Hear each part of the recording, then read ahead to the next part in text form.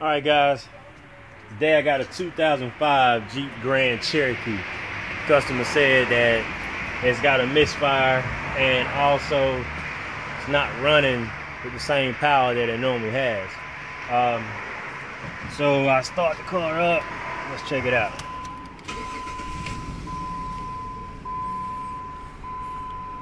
Check engine light is on and it'll probably start flashing within the next few seconds.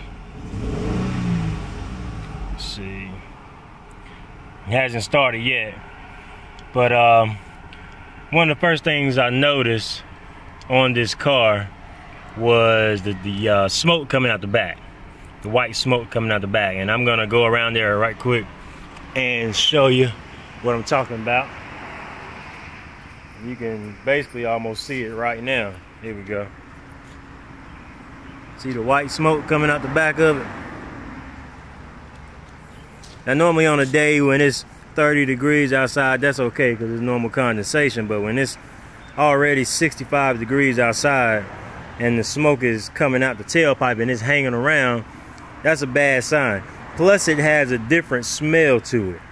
But um, basically what's going on with it is the antifreeze is mixing in the combustion chamber with the gasoline. So it's trying to ignite the gasoline and trying to ignite the uh, antifreeze. Um, it's either got a head gasket leak or it's either got the intake gasket leak. One of the two. Either one of them allows antifreeze to mix into the combustion chamber. So that's gonna be one thing that's gonna get checked out on this bad boy.